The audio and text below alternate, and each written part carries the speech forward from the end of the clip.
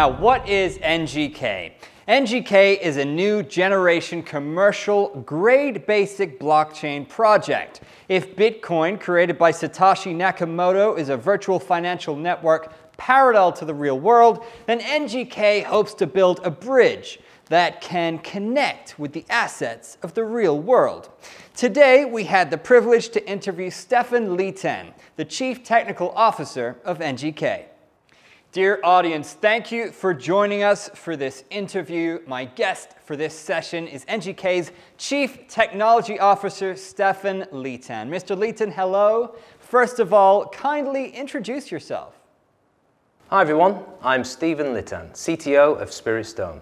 I'm mainly responsible for the work related to the bottom layer of NGK blockchain, cryptocurrency and network security departments. Fantastic. Now, do you mind sharing with us what you did before entering the blockchain industry and what drove your interest towards the blockchain industry? Now, before entering the blockchain industry, I worked in the semiconductor chip manufacturer industry. I was mainly responsible for the adaptation, testing of electronic chips and related system construction. Now, this made me very interested in this particular program, and this was, in fact, an accidental opportunity of which I'm very grateful for. I learned about Bitcoin and blockchain and the fact that there are several new companies in Silicon Valley doing this. I'm very excited to participate in the upcoming Technology Summit. Indeed, blockchain technology can be said to be a relatively innovative technology. Then we also know that there are many blockchains such as Ethereum, EOS, and TRX. Now compared with these blockchains, what are the underlying advantages of NGK? Please elaborate to our friends and audience. We all know that the traditional blockchain will cause network congestion with the increase in transaction volume and decentralized applications. The deployment of the underlying architecture limits the possibility of the changes, so it cannot be effectively expanded. With cross-chain and side-chain, it is impossible to make a fundamental change from the core. Obviously, this is a pathological process and will continue to increase with time. At this initial stage, NGK can reach thousands of transactions per second and can be effectively expanded. For example, the improvement of TPS, I mean NGK blockchain, solves the problem of low performance of traditional blockchain applications, and this, for me, is a great challenge. On the other hand, the traditional blockchain only meets the needs of the currency transactions, and NGK uses the DPoS consensus algorithm to make large-scale commercial applications possible.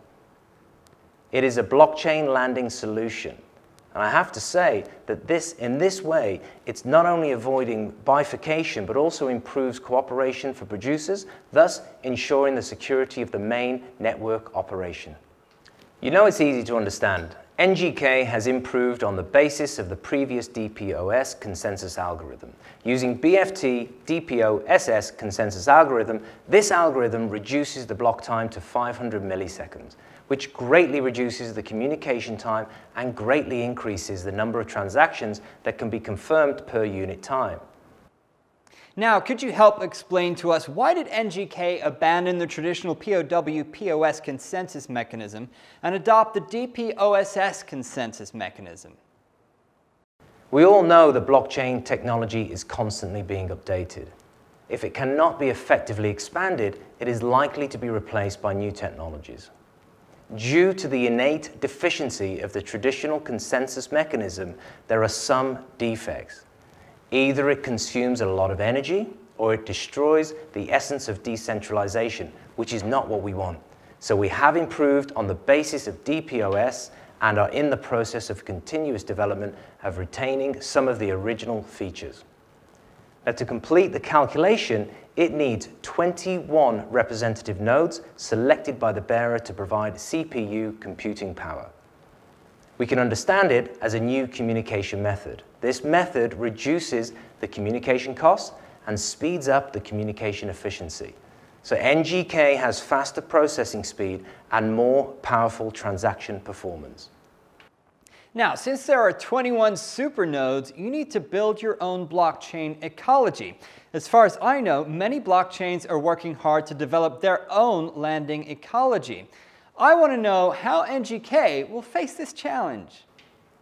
In terms of the bottom layer, on the one hand, we will lower the threshold. The NGK blockchain handles the complexity of development for decentralized app and provides a complete bottom layer template. They can use their familiar language for development, which improves the application. And on the other hand, we will reduce the cost of developers. On platforms such as Ethereum, since the TPS of Ethereum is not so high, it is easy to cause network congestion. So the cost of running smart contracts is very high. But NGK's TPS is very high, so there is no such problem. That's great. Now, I heard that the NGK main network will be launched in October. How will the ecology help the main network when it's launched? After the main online launch in October, the entire application system can be deployed. In fact, we have already deployed some landing applications. Users can use NGK tokens to directly purchase merchants' merchandise. Now, this aspect has accelerated the circulation of tokens. After the main network is launched, the entire ecology can run.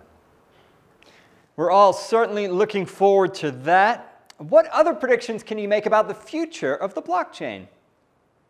Now, I think the blockchain must develop towards the trend of servicing large-scale commercial applications.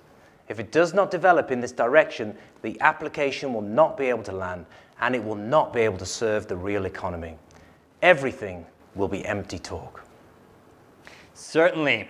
Now, all technologies are for commercial applications, which brings us to the end of this interview. We can all agree that we have a lot to look forward to as NGK continues to develop. Thank you very much for accepting our interview and for your time.